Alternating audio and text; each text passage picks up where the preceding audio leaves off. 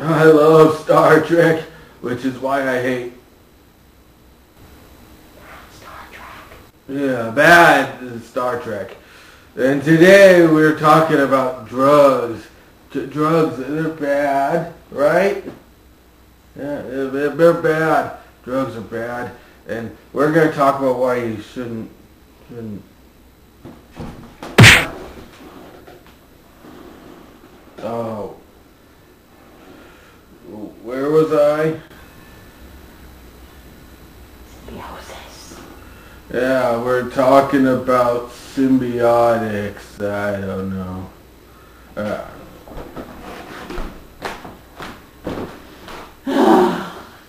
People, this is POSTNG, symbiosis. Hey Kim, have you tried these peanut butter and Pringles? Uh,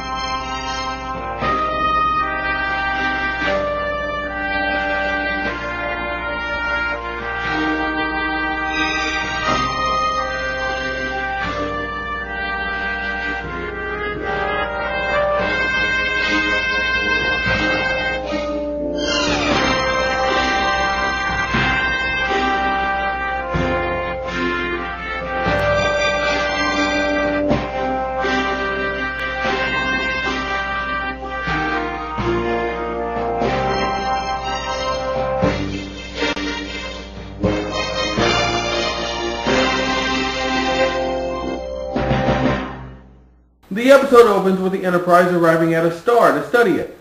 The star is spewing out all sorts of electromagnetic energy which really will have no purpose on the show other than that their sensors are a little fuzzy. And that's about it.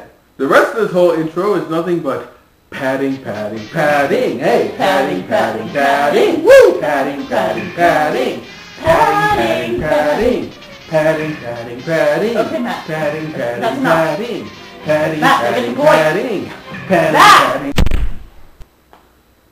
padding, won't you? So, after a minute of nothing important, we finally get down to it. Hey Kim, you want to know what this could have been? yeah, sure. Captain's log. We've arrived at a star. It's dangerous, but we're going on anyway because we're explorers. Meanwhile, Wesley Crusher starts detecting some x-rays on the ship. This will mean nothing at all. Yeah, well, at least if it doesn't kill him, it ought to make him sterile. And so Counselor Troi chimes in very hopefully to say, people are now tense. No. Counselor Obvious! And so they get closer to the sun, and Worf detects a distress signal. We're heading into the atmosphere. Please, do something. We're gonna burn up. I am T'Jon, captain of the Sanction. How can we help? I am no longer able to maintain this orbit. So, you know, dead, I guess. Tasha Yar suggests that they go with the tractor beam, as if it's a weapon of last resort to use. And so they go with it, and it doesn't work. Thank you, Tasha Yar, for padding something other than the chest of your uniform. Padding, padding, padding. Apparently, the ship can no go. I don't think they get it. I'm showing the clip. We are Pakleds. Our ship is the Mondor. It is broken. Data is able to detect the problem, but the Tardos can't even fix their own ship, even when they get the parts. So you be cool. You have the necessary tools to realign the coil? Do we smoke it? Sorry, nobody here knows anything about it. We need help.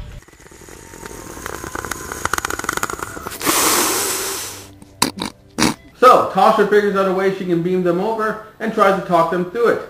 And then she starts getting snippy about it. Mark two, six, eight. Got it. Hey, hey, don't make me come over there and seduce you. Patty, patty, patty, patty, patty, patty. Matt, They tell the stoners to get on the pad and beam themselves over, and instead they beam over their cargo.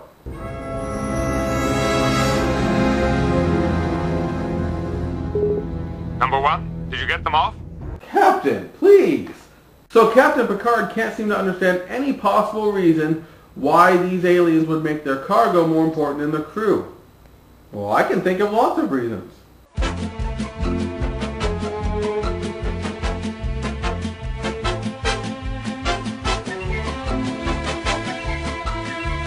Reading six life forms, but I can't get a solid lock. We have no choice. Energize.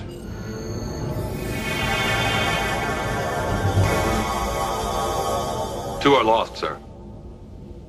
But we saved four. But the stoners don't even care about the two people who were lost. They only care that the cargo was saved. Instantly, the two stoners and the two effete people who apparently owned the cargo start arguing over trade negotiations. The goods were never delivered. They were destroyed with your ship. Hence the deal was incomplete, hence possession of the Felicium remains ours. We need it. I refer you back to Sub Rosa for the mop debate. Now give it to me. That's my mop! Not anymore, buddy. And so they start a Sith fight. A sissy Sith fight. Say that ten times fast. That, that, that, that, that, that, that, that, that, that, that. Ow!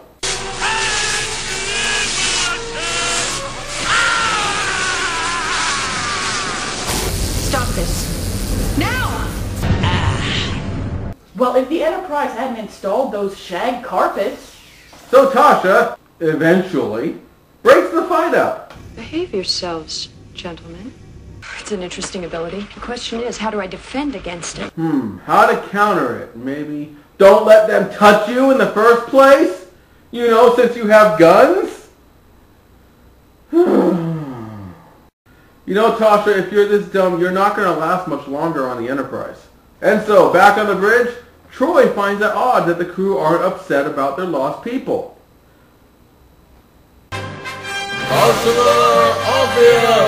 And so the crew members meet with Picard, who agrees that he will give them the parts and the training so that they can fix their last ships. By the way, does this actor look familiar to Star Trek fans? He's David Marcus. What does that mean for the story? That Merritt Butrick needed work. Moving on. And now they continue to argue about ownership, only a little more civil this time. And apparently it's crucial medicine for a planetary plague. cargo you have impounded is the only hope of life for our people. I suddenly don't like those other two people. gee, I wonder why. That single shipment of Felicium represents an enormous investment. We can't just give it away. Yo boy, looks like these people are Roddenberry's strawmen of evil pharmaceutical companies. It turns out our two stoner people are also carriers for this plague. Which maybe we could have learned if they'd gone to sick bay first, but it's not like going to sick bay is the normal first step. Oh wait, yes it is! We need help. So, in sick bay, Dr. Crusher can find no infection, nor any reason to explain all the symptoms that the Ornarans, that's the stoner people with the plague, have. Oh, and Dr. Crusher doesn't like the Brekkians much at all. They're the effete people who actually own the medicine who refuse to give it away. No green pulp sex for you. This is crack. So Picard requests two doses for the two Ornarans' immediate use, and the Brekkians agree.